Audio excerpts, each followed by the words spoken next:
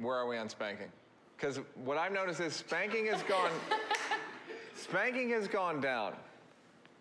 Things like Asperger's have gone up. Is it possible that we were spanking the Asperger's out of our children?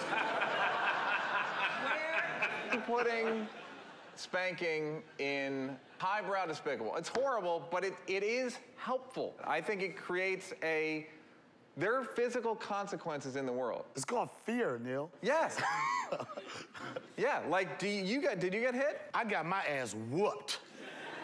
If you had kids, would you hit them? In, Yeah, in- under the right circumstances? I don't even need a circumstance.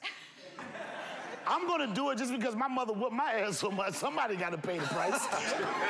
If your kid didn't bring the remote control fast enough, that would be it.